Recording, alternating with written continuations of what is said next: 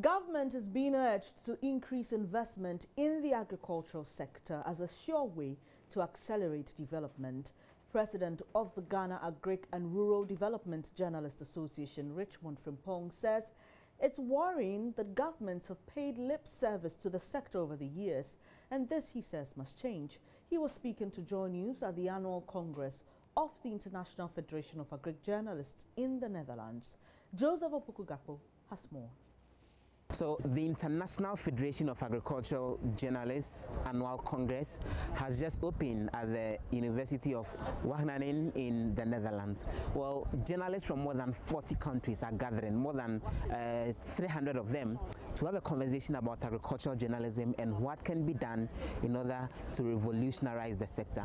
Well, the call that is coming up is simple, that there should be a lot more focus on agricultural journalism by journalists and even media houses from all over the world. Mm, for agricultural journalists, um, it's important uh, to, um, to know how um, farmers in other countries um, um, farm and how they produce food um, because the, the big challenges are how to feed a, a growing population and how to um, how to um, face climate change and and these topics have to be uh, to be um, uh, solved together.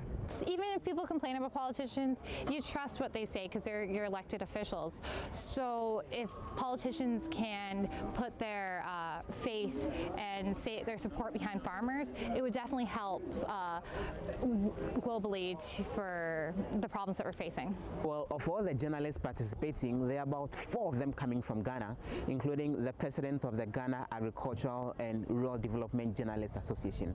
Well, he thinks that it's about time that the government of Ghana increased investment and support for the agricultural sector as a way to help lift the nation out of poverty and to deal with the food security challenges we face. The government claims agriculture remains the mainstay of the Ghanaian economy, something which is the mainstay of your economy but you don't contribute much.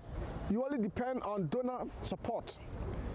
Less government is saying is doing planting for food and job.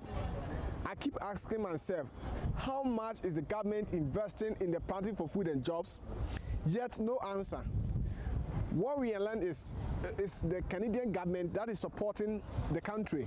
Well, for a lot of the journalists participating in this conference, this is a good experience that they'll be working away with and hope that using the pen and the paper and the microphone, one way or the other, the life of the ordinary farmer will be impacted positively. Away from the agric sector, the Central Regional Police Command is holding two persons who are part of a group that inflicted